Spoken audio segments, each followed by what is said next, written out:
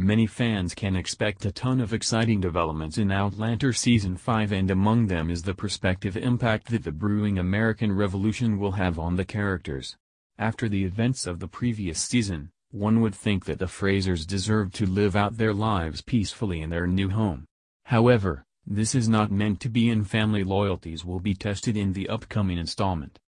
As the Daily Express reports, Caitriona Balfe who plays Claire Fraser recently posted details on social media with regards to Outlander Season 5. It would appear that production for the upcoming season is in full swing and things are progressing smoothly. In response to her post, fans have been sending replies about how they want the production to be over so they can watch more episodes.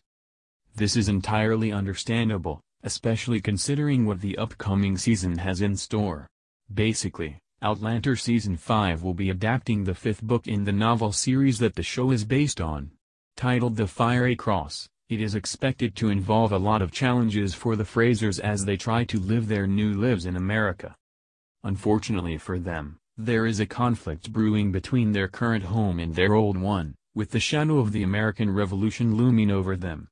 There will even be a need for Jamie, Sam Heughan, to raise an actual army in Outlander Season 5. Suffice it to say, this is not going to be a smooth ride at all for the family.